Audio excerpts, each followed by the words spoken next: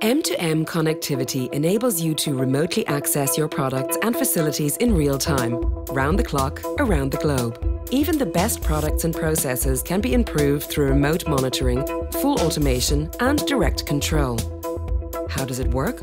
Smart M2M devices wirelessly transmit data to a central database, where data is processed by application servers and exposed via front-end application.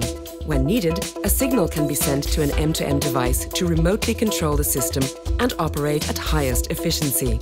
So, when you think about developing an M2M application, you start with devices data transfer, tariff plans, roaming costs, data security, APNs and VPNs, firewalls and proxies, HTTP or maybe HTTPS, encryption using SSL, AES, you think about your data center, should you use hosted infrastructure?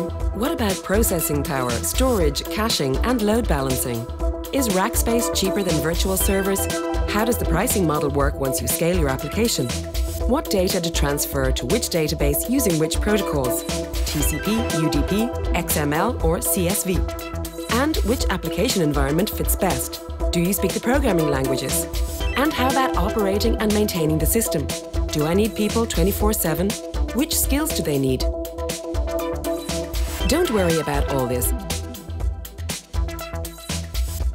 With Flexify, we take care of the technology while you focus on creating value with your application.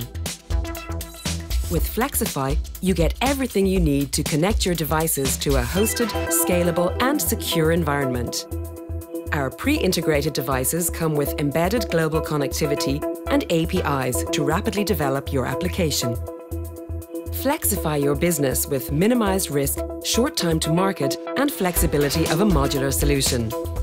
Telekom Austria Group M2M. We connect your ideas.